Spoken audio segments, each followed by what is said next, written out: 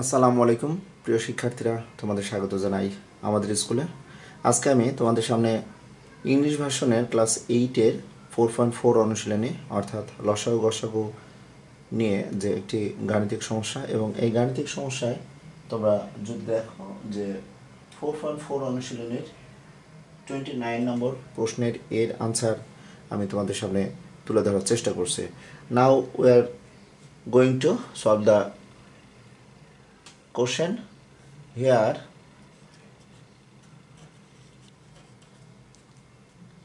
x square plus 1 by x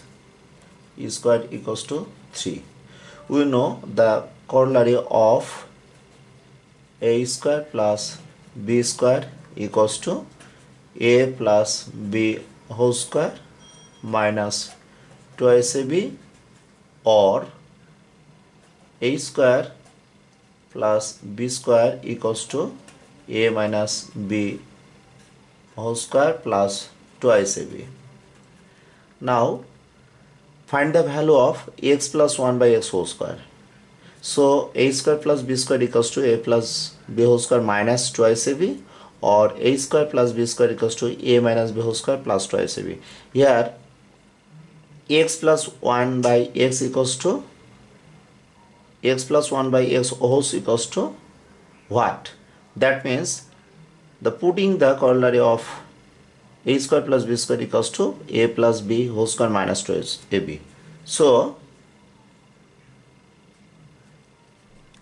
x square plus y square that means x whole square plus 1 by x whole square equals to 3 implies that now x plus 1 by x whole square minus twice into x into 1 by x equals to 3 so x plus 1 by x whole square minus x into 1 by x omitting x into 1 by x so 3 implies that x plus 1 by x whole square equals to